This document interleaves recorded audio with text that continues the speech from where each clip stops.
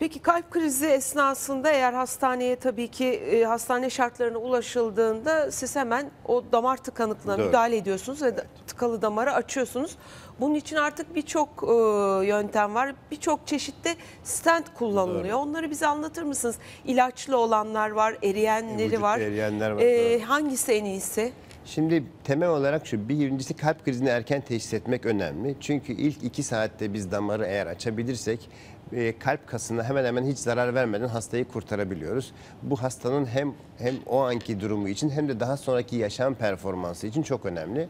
O yüzden teşhisinin e, yapılıp erken dönemde damarı açılabilen bir merkeze hastayı nakledebilirsek çok ciddi fayda sağlarız. Maalesef Türkiye'de hemen erken teşhisle birlikte damarın açılma oranı %30'larda. Bunu bunu daha da arttırıp en azından %50-60'lara ulaştırmamız gerekiyor.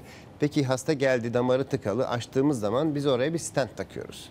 Şimdi tabii ilk önemli olan kalp krizinde ilk önce o damarı açıyor olabilmek önemli. Açtıktan sonra e, stentin kalp krizi hastalarındaki stentin yapısı ikinci planda kalıyor aslında. Önemli olan erken dönemde açabilmek.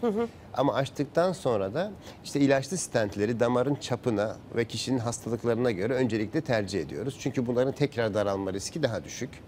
Bir de eğer darlık çok uzunsa ve e, damarın alt kısımlarındaysa ve kişiye daha sonra bypass ihtimali yüksekse kalp krizi hastalarından daha çok yani genel hasta olarak baktığımız zaman da bu vücutta eriyen stentleri o genç grup hastalarda uzun lezyonlarda ve daha sonra aynı damar bölgesine bypass yapılma ihtimali varsa eriyen stentleri tercih ediyoruz. Çünkü eriyen stentleri oraya taktığımız zaman ilk 1-2 yıl içinde onlar erimiş oluyor.